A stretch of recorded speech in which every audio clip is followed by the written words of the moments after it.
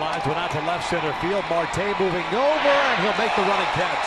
He thinks it's three outs. It's only two. And finally gets the ball in.